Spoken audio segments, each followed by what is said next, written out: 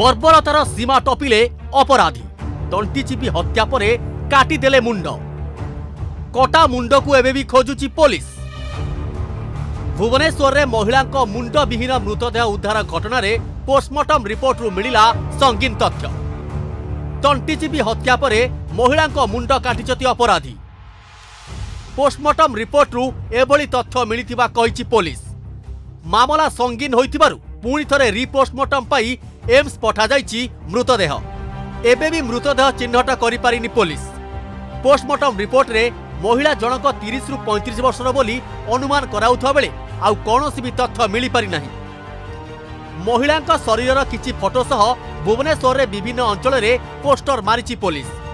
কটা মুন্ড কাহার তার সন্ধান জারি রাখিছে পুলিশ পোস্টর মারিবার কেবল তার আইডেন্টিফিকেশন পাই আমি চেষ্টা করুছু তাকে কেতে শীঘ্র আমি আইডেন্টিফাই করে পারিবু দেন আমাকে সুবিধা হব রেলওয়ে স্টেশন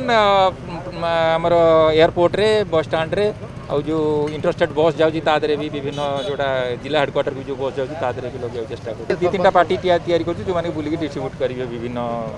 ଜାଗାରେ ଯେଉଁଠି ପବ୍ଲିକ୍ ଗ୍ୟାଦରିଂ ରହୁଛି ସେ ଜାଗାରେ ପୋଷ୍ଟ ମାରିବେ ମିଳୁନି ମୁଣ୍ଡ ବିହୀନ ଶବର ପରିଚୟ ছত্রিশ ঘণ্টা পরে বি টের পাওনি পুলিশ কিয়ে ও কী হত্যা কলা তার ক্ষয় খোঁজুছি পুলিশ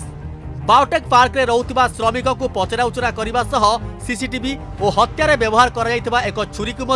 পুলিশ জবত করেছে কেতেক নিরুদ্দিষ্ট মহিলা পরিচয় হত্যা করা মহিলা পুলিশ মিলাইলে কৌশি সুফল মিলি না রাজধানী ভরতপুর অঞ্চল দাসপুর মিলিলা মুন্ডবিহীন মৃতদেহ